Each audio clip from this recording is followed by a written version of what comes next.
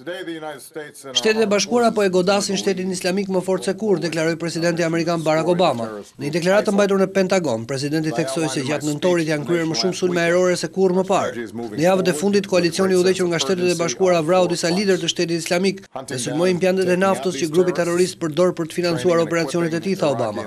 Presidenti amerikan po përpiqet të qetësojë opinionin publik në Shtetet e Bashkuara pas sulmit të armatosur në Kaliforni. Rreth nëntë mijë sulme ajrore janë kryer kundër grupit ekstremist që nga nisja e fushatës në verën e vitit dy mijë e katërmbëdhjetë. Duke vënë në dukje se ISIS ka humbur dyzet për qind të territorit që dikur kontrollonte në Irak, Obama tha se që prej verës, rrjeti nuk ka patur një operacion të vetëm tokësor në Siri ose Irak që të ketë patur sukses.